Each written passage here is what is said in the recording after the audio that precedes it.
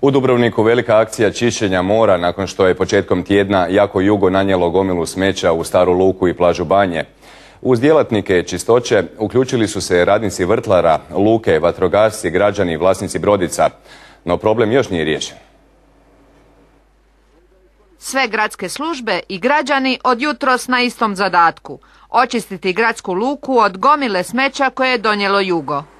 Svašta ima, vidjeli smo tamo i životinje su po moru, plutaju i svašta, svašta ima, stvarno svašta ima u moru.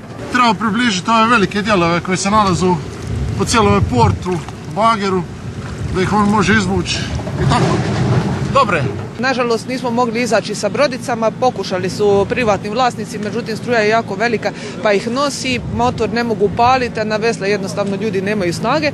Tako da smo odlučili, u momentu promijenili taktiku, odlučili da ćemo to sa krajeva e, kupiti. Onečišćenje mora, problem s kojim se Dubrovnik suočava ovih nekoliko dana, najveće je koje se do sad pamti, a sve smeće stiglo je iz Albanije i Crne Gore. Mi smo unutar toga otpada i našli jedno 5-6 primjeraka živih e, barskih kornjača, tako da je najvjerojatnije ovo došlo iz nekih rijeka albanskih ili crnogorskih. Europarlamentarka Dubravka Šuica tražila je od Europske komisije da utječe na susjedne zemlje koje se ne drže međunarodnih konvencija o zaštiti okoliša. Četiri zemlje su članice Europske unije koje gravitiraju Jadranu i Jonskom moru i druge četiri koje nisu članice, ali postoje druga međunarodna pravila i konvencije Ujedinjenih naroda. Mislim da je ovo e, ekstremna situacija i trenutak za reakciju obzirom da se radi o Dubrovniku. Na svu sreću okreće na buru, što olakšava posao koji danas ipak nije dovršen. Sutra će se nastaviti.